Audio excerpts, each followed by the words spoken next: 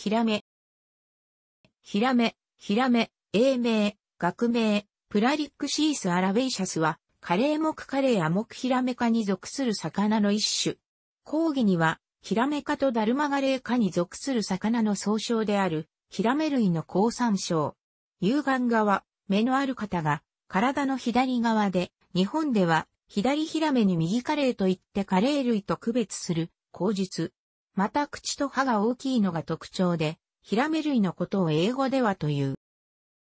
太平洋西部、千島列島、樺太、日本、朝鮮半島などの沿岸から南シナ海までに分布。最大で全長1メートル、体重10キログラムほどになる。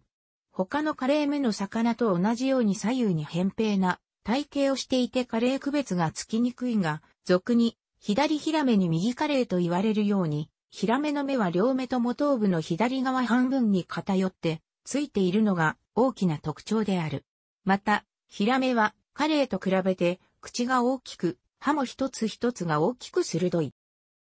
ヒラメは、海底で、両目のある体の左側を上に向けて、生活しているため、その両目は常に、上の方を向いている。このヒラメの特徴から、自分の出世だけを気にして、常に上層部の機嫌を伺いこびえつっている人間を、ヒラメ人間と呼んで揶揄することがある。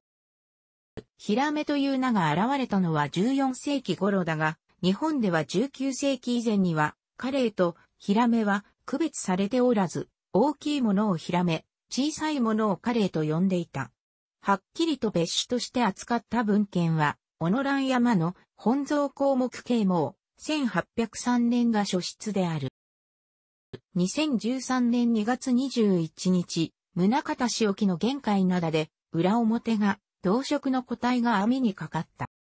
日本での別名は地方によって異なり、カレ、大口ガレ、ソゲ、ゾゲ、大口、鉄杭、ハス、大ガレー、目引き、本ガレーなど。北海道では、鉄杭、東京湾では 1kg 以下のものを、ソゲと呼んでいる。青森県、茨城県、鳥取県の県の魚に指定されている。沿岸の砂泥地を好み夜活動する。昼はよく砂泥中に身を潜め頭だけ出しているが、砂に潜らない場合は、体の色を海底と同じ色にする。主に海底に住む小魚、小型甲殻類、貝類、魚貝類を食べる。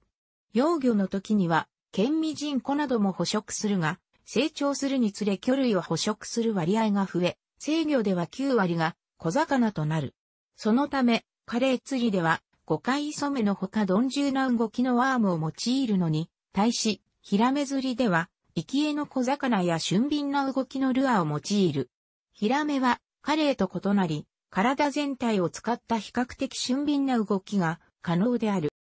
冬は相当深いところに下り、3から7月の産卵期には、水深20メートルぐらいの浅瀬に移動する。卵は浮遊性で、水温依存生成決定機構を有し、卵から帰った稚魚は、通常の魚と同じように、細長く、目も両側についている。全長1センチメートルぐらいに成長する頃から、右の目の移動が始まり、2.5センチメートルぐらいになると親と同じ形になる。3年ほどで制御になる。カレー類には数十年生きる種もいるが、ヒラメの寿命は短く、せいぜい数年程度と言われる。その分、ヒラメはカレイよりも成長が早く、養殖もしやすいとされている。日本では刺身、寿司ネタに用いられる高級食材で、ヒラメ、カレー類の中では最も高値で取引され、一本釣り、ハエ縄、低地毛、底引き毛、刺し網など各種の漁法で漁獲される。また、カレーよりも成長が早いこと、また海底で静止していることが多いために、さほど酸素を必要とせず、海水をあまり汚さないことから、陸上での養殖が盛んである。資源保護のため、ある大きさに達しない個体は再放流したり、稚魚の放流も行われている。稚魚放流されたヒラメは成長しても、腹側の黒い文様が消えず、パンダビラメと呼ばれる。稚魚放流されたパンダビラメは食味において、天然物と何ら差異はないとされるが、これはパンダビラメも自然界においては餌、小魚類も変わらず、食事行為による運動量も差異がないことによると思われる。一方、養殖物と天然物のヒラメは、蒸気複足の黒い文様以外外形上は何ら、差異はないが、天然物や食味を尊重する市場では、養殖物は安値で取引される。ただし食味において両者は遜色ないとの研究結果もある。刺身など皮を剥いだ状態では、パンダビラメの黒い文様はわからない。白身魚の中では特に淡白で繊細な味わいで、非常に美味であるとされる。特に背びれと尻ひれ付け根の部分の身は、縁側と呼ばれる油の乗った歯ごたえのある部位で、珍重される。刺身、寿司、酒蒸しなどで食べる。またムニエル等で、フランス料理でも使われる。肝臓、肝もカワハギ等と同様珍重される。サムビラメの名の通り、旬は冬季。産卵後の夏場は、クソビラメと呼ばれるほど食味が落ちると言われるが、冬場の食味と比較した場合見劣りする程度で、夏場でもうまい魚の代表格と言える。調理の際は、その特殊な体型から3枚おろしではなく、5枚おろし、あるいは7枚おろしにする。5枚おろしとは、上見せ、腹、下見せ、腹、骨の5つに分けたものを言い、7枚おろしは5枚おろしに、背と腹の縁側を別にしたものを言う。かつてクードアの一種、クドアセプテンクトタ、以下、クドアは、病原性がないと考えられていたが、寄生したヒラメを人間が生で食べ、食後数時間程度で一過性のゲリアオートといった系の食中毒を起こした事例が報告され、調査の結果原因物質である可能性が極めて高いとされている。ただし、必ず発症するものではない上、症状は一過性かつ軽症で翌日には後遺症も残らず、クドアが長期に人体で止まる可能性も低い。また、一定時間の冷凍や摂氏75度以上の加熱処理で病原性はなくなることが判明している。なお、クドアは粘液胞子虫の一種で、最初の発見事例は韓国から輸入された養殖ヒラメであるが、クドアの生息海域内の天然物やマグロにおいても、規制が確認されている。ゲリアオートなど、軽度の優勝事例が報告され、細菌やウイルスなどの基地の食中毒原因物質が検出されない事例では、暫定的にヒラメトキシンなどと呼ばれていた。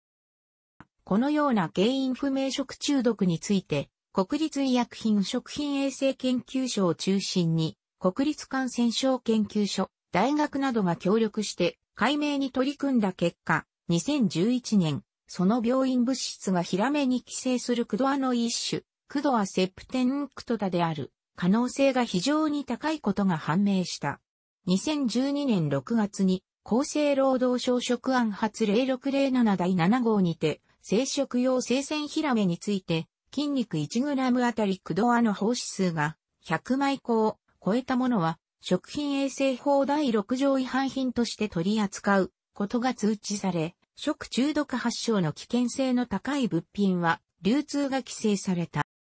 クドアが規制したヒラメが出荷されることを防ぐため、2012年に水産庁では、ヒラメ養殖、種苗生産施設において実施すべき対策を取りまとめた。ヒラメ養殖が盛んな自治体でも安全対策を行っており、特に養殖が盛んな大分県では、地元産養殖ヒラメの安全性を確保する対策を講じて徹底した検査体制を敷いている。ただし、日本国内には、韓国の最終島の養殖ヒラメも流通しているが、クドアに対して十分な対策が行われておらず、流通過程で産地偽装が行われ、小売店が調理した韓国産養殖ヒラメの刺身を客が食えて、クドア食中毒に発症した事例が報告されている。講義のヒラメ類は、ヒラメ科、ダルマガレイ科に属する魚のこと。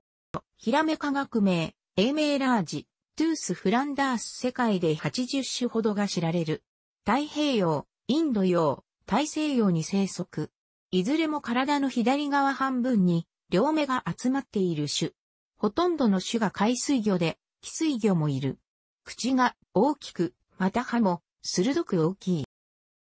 ダルマガレー科学名、英名レフタイフローンダー世界中の熱帯から温帯の海に生息する海水魚で100種以上が知られる。両目とも体の左側にあるのはヒラメ科と同じ。ヒラメ科よりも一般に体高が高く、また背びれが頭部の目よりも前から始まるため、体が円形に近い印象になる。